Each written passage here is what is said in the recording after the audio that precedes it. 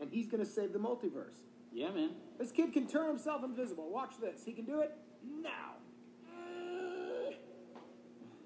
I can't do it on command. He can't do it on command, but it is cool. Show him the zappy thing, Miles.